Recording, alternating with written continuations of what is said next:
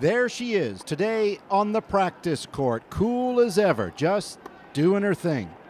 Canada's Leylah Fernandez getting set for tomorrow's women's singles final at the U.S. Open. Can you believe it? Those who came today to watch her sure can. When she beat Osaka, I guess this, this girl has a big chance. Not least Filipino American Edward Gaddy. For him, the story of Fernandez with her Ecuadorian dad and her Filipino Canadian mom has inspired his whole family. And you bet they watched her semifinal win last night.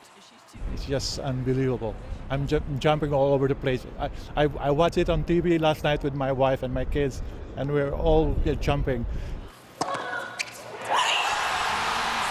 That semifinal thriller underlined another reason so many have fallen for Fernandez the sheer joy she seems to exude. On the grounds of the Open today, with tickets for tomorrow's final in hand, Jeff and Jolene Funky, who flew in from Vancouver, underlined they love her positive energy. Truly Canadian, really, is really what it is to me.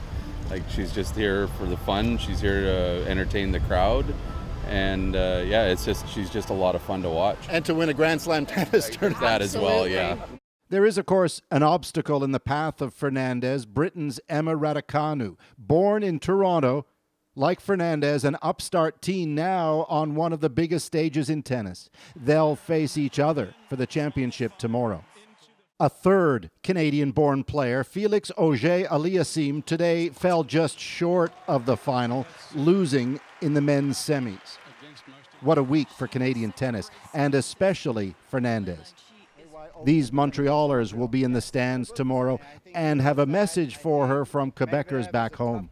I would say just enjoy the moment, have fun, and uh, be proud because we are proud of what you're doing right now. So, Paul, usually you have sage political analysis, but let's talk tennis. What, what's your sense of the kind of match we'll, we'll see tomorrow? Um, a good one, I hope. Um, look, these two have uh, these two have played each other before, Ian, a number of times uh, on the junior circuit, so they know you know they know how each other behaves on a tennis court.